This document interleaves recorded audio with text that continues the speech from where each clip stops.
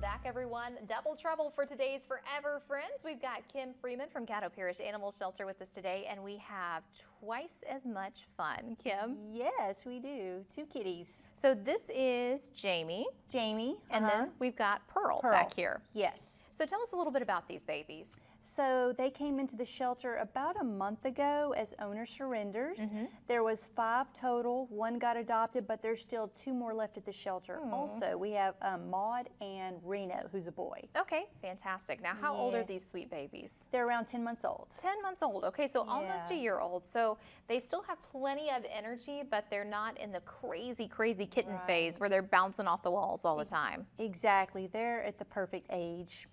And They're we love tabby cats because tabbies get overlooked very mm -hmm. often, but if you look at a tabby, they always have this really cool M pattern on their forehead where you can kind of see where they have little eyebrows. It's really cute. Mm -hmm. And mm -hmm. then their body patterns are always so different. You know, if you notice on Pearl over here, she's got some orange on her back, just a little bit of orange on her ears. Yeah. Sweet, sweet babies. They are very sweet. And then the um, one at the shelter that's a boy, Reno, mm-hmm. he's a tabby, just like these two. And then Maud is a calico.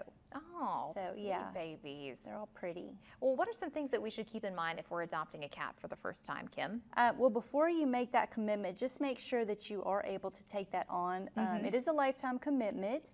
So be prepared for that. Make sure that you can afford it because it can get expensive mm -hmm. um, with vet visits, food, toys, all that kind of stuff. And then make sure you have time to spend with them because, of course, they do need human companionship and interaction. Mm -hmm. They yeah. definitely want to have that connection where you can sit down. There's nothing better than having a lap cat where you right. sit down and you're watching TV, yes. maybe drinking coffee in the morning or just unwinding at the end of the day. Having that connection, um, they say cats are so therapeutic for you. They are. They are. They lower blood pressure and all kinds of health benefits. Bring you all kinds of comfort. Well, if we want to meet Jamie, Pearl, Maud, or Reno, yes. how can we do it, Kim? So just come to the shelter at 1500 Monty Street. They are located in our cat playroom.